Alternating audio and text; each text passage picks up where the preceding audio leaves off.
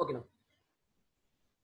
Business leaders often assume that their company's vision, values, strategic priorities are synonyms with their company's culture. Whatever the organization vision is, their value is, their strategic strategic decisions are. They are considering considering that that these are the company's culture. Company's culture, we have other names for that, that organization culture. You can also call that organization culture or you can also call behavior culture. Unfortunately, too often the vision, values, strategic priorities may only be words hanging on plug on the wall. These are just hanging on on the wall Is that the organization. Describing profitable company. Employees will embody the values, vision, strategy, priorities of their companies. Look, how these values, how these visions, how these strategies are communicated to the employees. The organizations are making these written statements, they are hanging on the wall. But that need to be communicated. But that must be communicated to employees. But how it's going to be communicated? Definitely.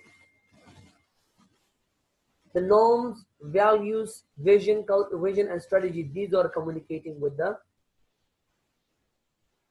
continuously with help of seminars, with help of workshops, with help of individual conversation, with help of rituals, written materials, or body languages. They're communicating.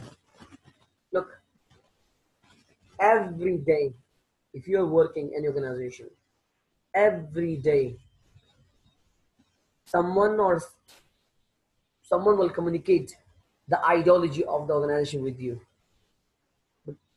the, vision of organization with you. But every day they're communicating that. Every day through what through somehow they're communicating. In a monthly, in a month, once you have a seminar, we are a top management or a leader of organization, they communicate the, the main vision of your organization.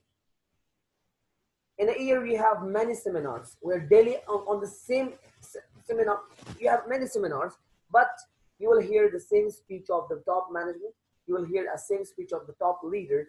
They have you're hearing the same speech which he, com- he communicated he wanted to transfer the information. He wanted to transfer whatever has idea is in, EU he wanted the top management wanted. They wanted to connect to connect your objective with our organization objective. Continuously look when they are giving a speech continuously they are saying that.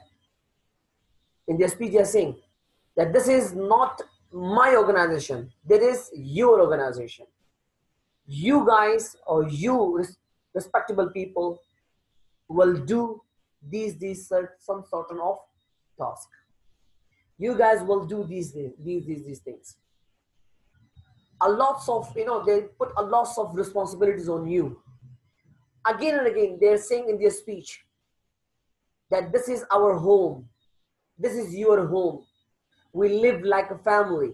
We are a family members.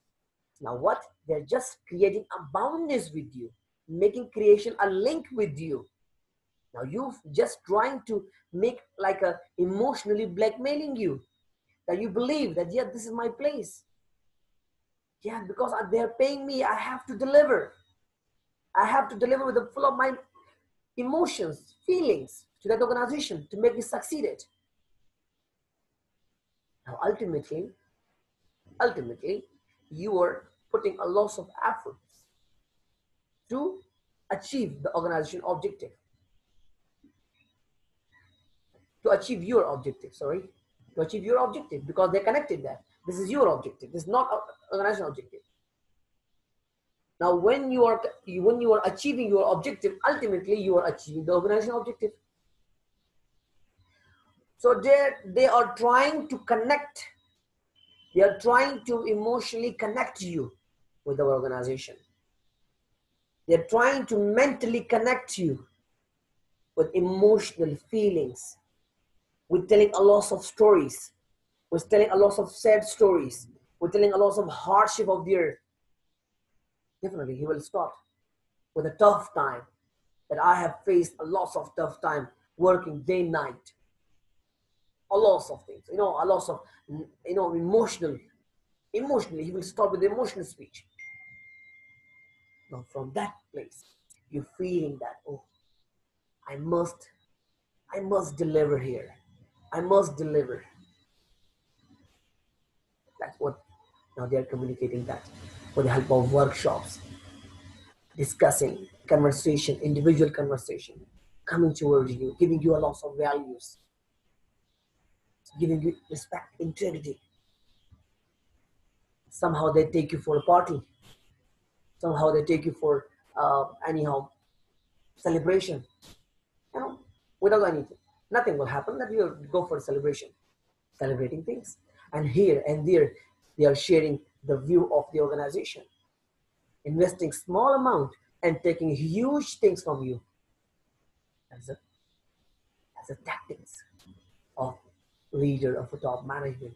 They want to take out the work out of you. They take out the best out of you. Now moving on. Norms. Norms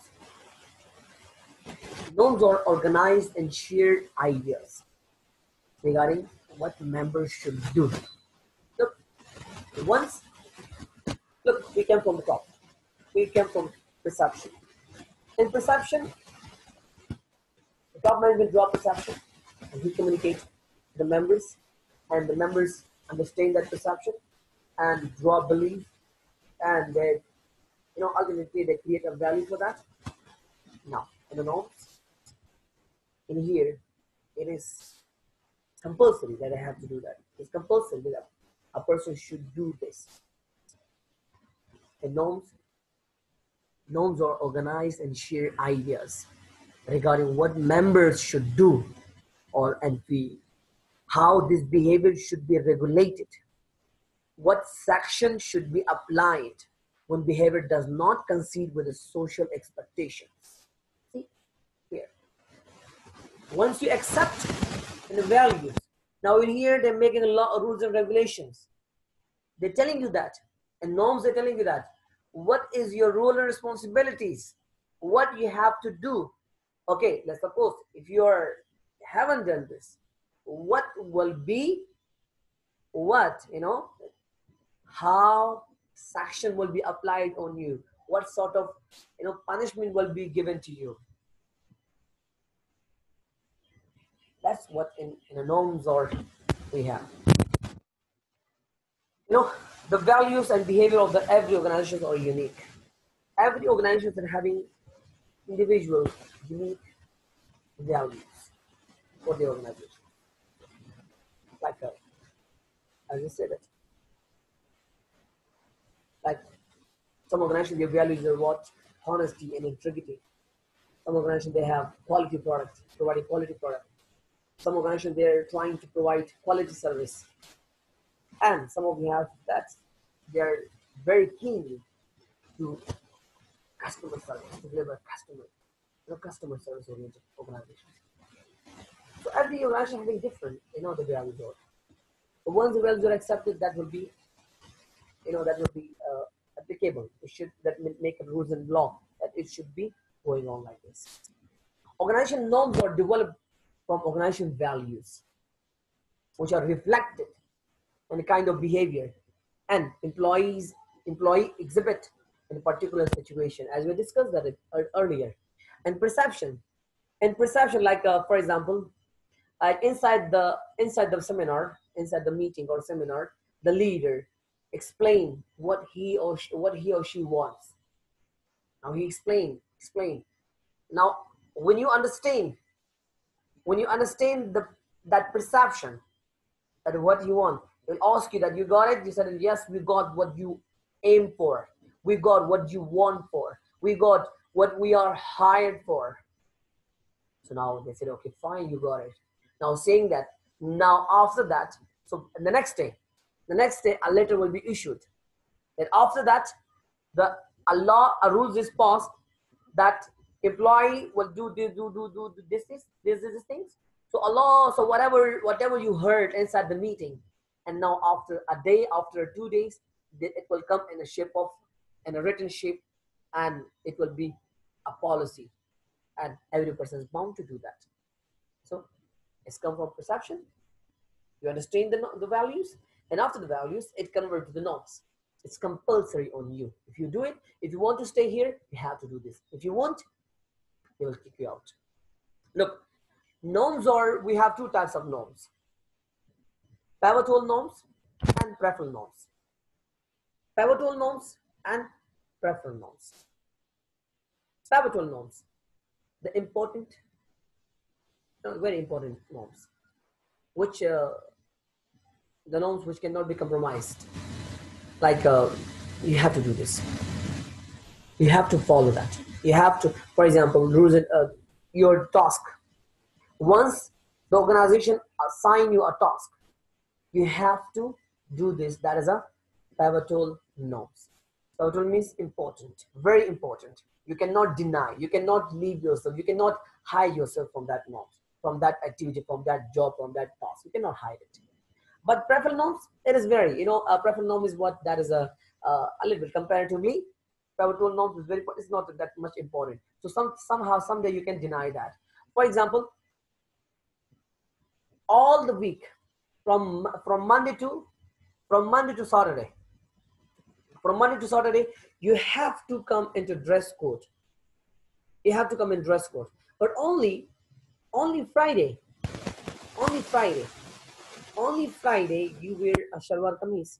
So and so it means this sort of this sort of norms is what a preferable norm. Only it's it is preferable on it's a preferable. Preferable means it's according to your choice. Only in a in a day of um in a day in, a, in, a, in one day, not on all the day. Only in one day it's a preferable a preferable norms and the rest of that pivotal norms. And another thing that like a, uh, some organizations they believe that they are task oriented organization. They believe that for us employing, the task is very important. The job is very important. The, the task which is assigned, the completion of the task is very important. That is, the task is a pivotal norms for organization. But what if the employee wear whatever they wear, whatever they wear, what, what sort of haircut they come, with what sort of dress code they come. That's a preference norm. We said we don't care about these things. What we care about, uh, that we care about uh, task. Like uh, as I give you last time example of uh, Thelonious and as well as uh, some shop. Yeah, Thelonious. What is that?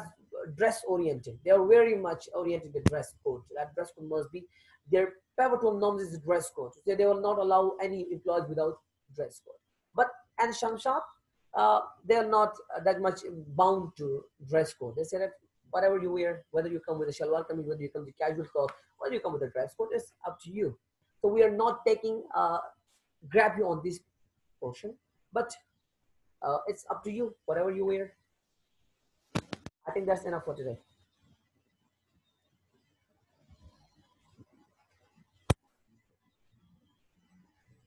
Yes, it doesn't